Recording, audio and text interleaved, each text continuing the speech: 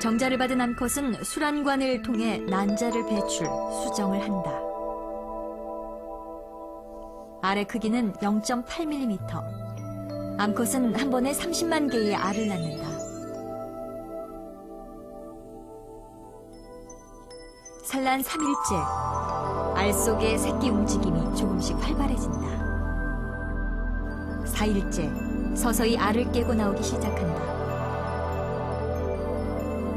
5일째가 되면서 대부분의 알들이 부화했다.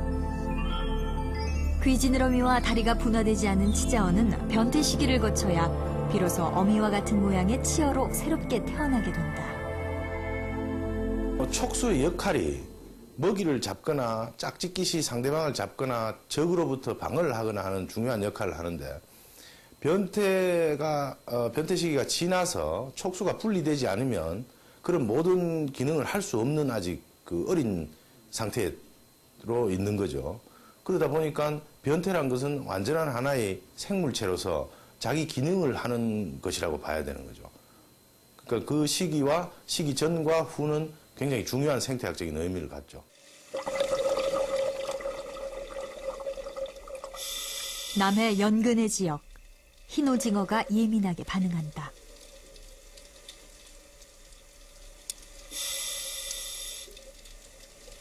흰 오징어 역시 산란철을 맞았다. 산란을 마친 흰 오징어는 지름 2cm의 알주머니를 해조류에 붙여놓는다. 산란 5일째, 흰 오징어의 부화가 시작된다.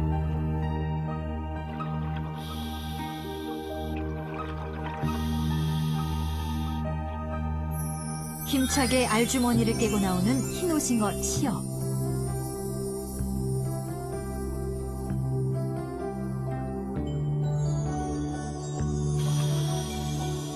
한반도의 바다에 새로운 식구가 태어났다. 흰오징어 치어의 크기는 1cm 내외.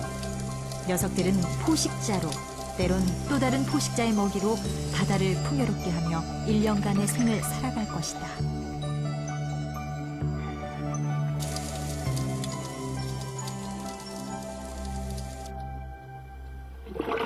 망상어도 번식기를 맞았다.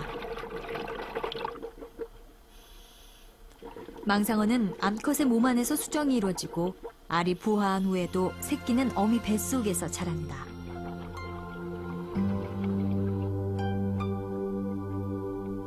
알이 부화한 지 5개월 후 망상어 새끼가 세상으로 나온다. 암컷이 한 배에서 낳는 새끼는 10마리에서 30마리에 달한다. 난대성인 보라성게도 산란을 시작했다.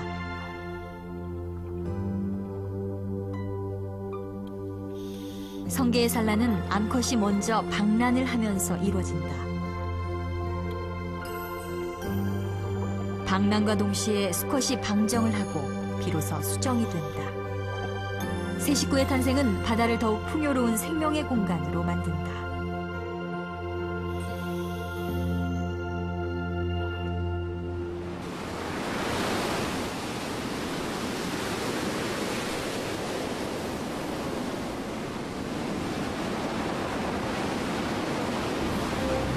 7월 동해바다에 폭풍우가 몰아쳤다.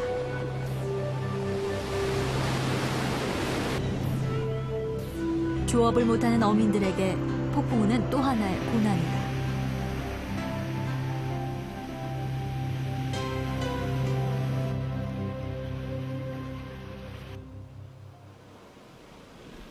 강원도 주문진항. 태풍은 난류를 끌어오지만 올해는 먼 바다의 너울성 파도로 냉수대가 사라지지 않았다. 오징어 조업에 분주해야 할 7월, 빈배만이 항구를 지키고 있다.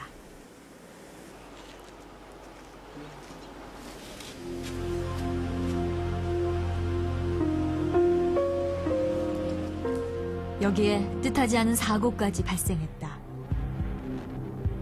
11월 20일 동해 22마일 해상 소형 체납기 어선이 원인 모를 화재로 전소됐다. 연근해의 오징어 조업이 이뤄지지 않자 먼 바다로 조업을 나갔다 돌아오는 길에 사고를 당한 것이다.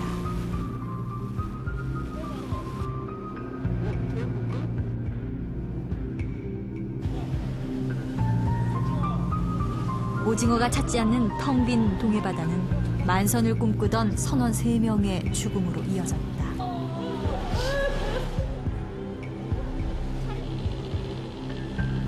동해의 주 어종이 된 오징어가 곧 어민들의 삶과 직결되고 있는 것이다. 금리는 날도 많이 굳히고 태풍도 많이 오고 뭐도 이래가지고 국물 손실도 많이 보고 무대도 안 맞고 가지고 오징어도 많이 안 나고 고기도 많이 안 납니다. 어, 오징어가 주로 보면 동해 이거 주 어종인데 동해가 군이 형성 안 되다 보니까 남해나 서해 쪽으로 조업도 많이 가고 거기에다 뭐 중국 어선들까지 싹쓸이 하는 바람에 요즘 어민들이 뭐 이게 뭐 생계가 위태로울 정도입니다.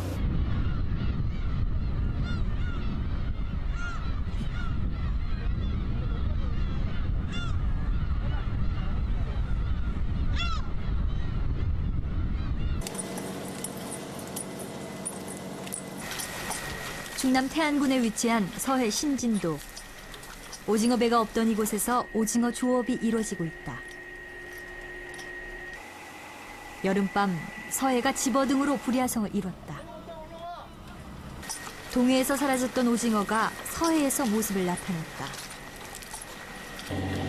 오징어 소식에 신진도 인근에만 동해 끼어선 200여 척이 원정 조업에 나섰다.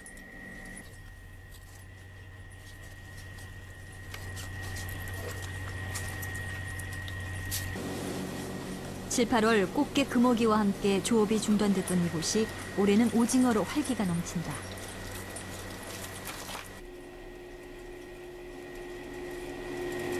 이와 같은 현상이 비단 올해만의 일은 아니다. 2000년 이후 서해에서 오징어가 나타나는 이상 현상이 이제는 일반적인 상황으로 자리하고 있다. 동해는 왕이 나빠가지고 쇠를 쇠는 왕이 줬기 때문에 쇠 화산하고 다른 넘어왔습니다. 넘어오고 그 해마다 요, 한 6년 전부터가 여기 왔는데 그 쇠는 거기가 요 전엔 동해에서 고기 났는데 그한 6년 전부터 요 쇠에 고기 나기 때문에 쇠 어종 잡으려고 쇠에 왔습니다. 7월 서해에서 잡히는 오징어는 하루 평균 20마리 상자로 3만 개. 7월 한 달 동안 전국 오징어 어획량의 70% 정도가 서해에서 잡혔다. 오징어 어류 지도가 바뀌고 있는 것이다. 조업을 마친 어선에 갑자기 긴장감이 감돈다. 수조에 바닷물을 공급할 관이 끊긴 것이다. 항구에 도착하는 8시간 동안 활어 상태를 유지하기 위해서는 2시간에 한 번씩 오징어가 서식하던 수심 30m 이하의 물로 갈아줘야 한다. 때를 놓치면 급격한 수온 상승으로 오징어는 죽게 된다. 죽은 오징어는 냉장 상태로 위판하지만 화로의 절반 가격밖에 되지 않는다. 동해에서부터 원정 조업에 나선 어민들에게는 오징어를 잡아도 경제성을 맞추기 힘든 부분인 것이다.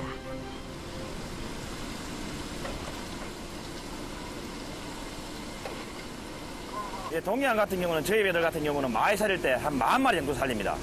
근데 지금 저희들이 세에 올라가고 이번 여름에 살릴 때는 500마리, 300마리, 200마리 이렇게밖에 못 살았습니다. 그래 살리는 마리수가 적기 때문에 오징어 활어 단가가 4천에서 5천에서 올라가는 부분이 있- 있었고 어용량이 결코 작은 건